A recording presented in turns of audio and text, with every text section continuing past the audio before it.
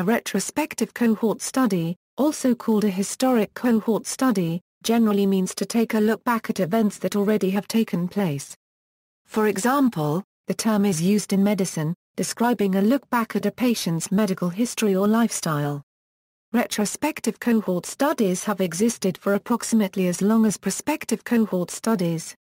Design It is a medical research study in which the medical records of groups of individuals who were alike in many ways but differ by a certain characteristic are compared for a particular outcome. In retrospective cohort studies, a risk ratio or odds ratio gives an assessment of relative risk. In the case of a retrospective cohort study, the investigator collects data from past records and does not follow patients up as is the case with a prospective study. However, the starting point of this study is the same as for all cohort studies. The first objective is still to establish two groups, exposed versus non-exposed.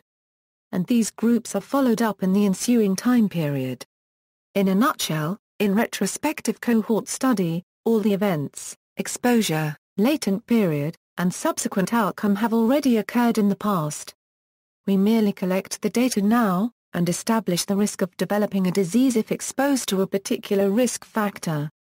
On the other hand, prospective cohort study is conducted by starting with two groups at the current point, and following up in future for occurrence of disease, if any.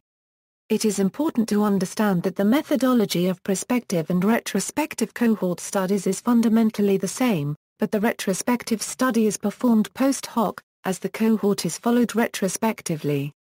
The time to complete a retrospective study is only as long as it takes to collect and interpret the data.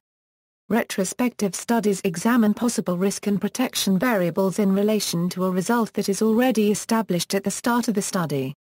Caution needs to be exercised, in particular, with retrospective cohort studies because errors due to confounding and bias are more common in retrospective studies than in prospective studies.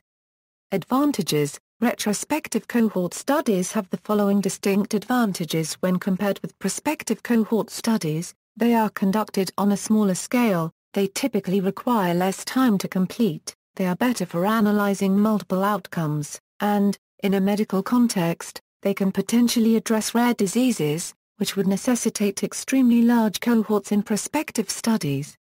In such a study, diseased people have already been identified so retrospective studies are especially helpful in addressing diseases of low incidence. The fact that retrospective studies are generally less expensive than prospective studies may be another key benefit. These studies tend to be less expensive in part because outcome and exposure have already occurred, and the resources are directed at mainly collection of data.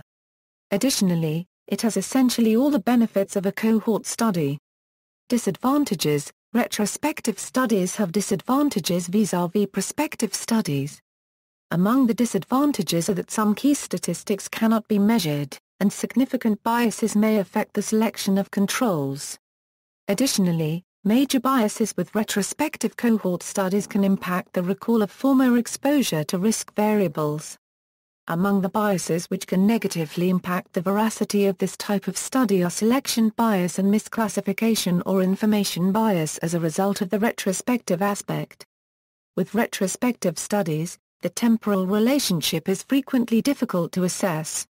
Also, those who conduct retrospective studies cannot control exposure or outcome assessment but instead need to rely on others for accurate record keeping. That is particularly problematic because it can be very difficult to make accurate comparisons between the exposed and the non-exposed. Retrospective studies also may need very large sample sizes for rare outcomes.